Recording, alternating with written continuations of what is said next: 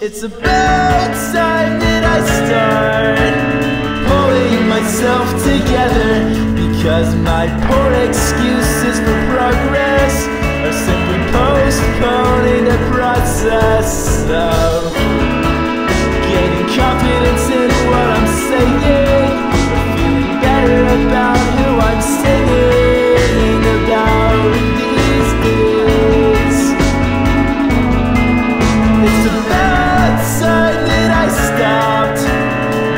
gracelessly falling to pieces because my refusal to take any right steps is simply weighing down my friendships and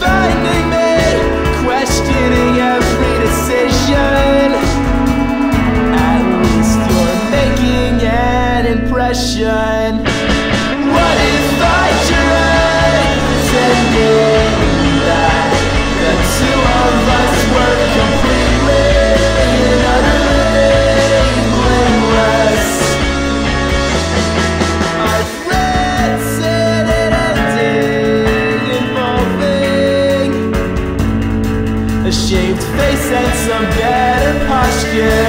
I'm hoping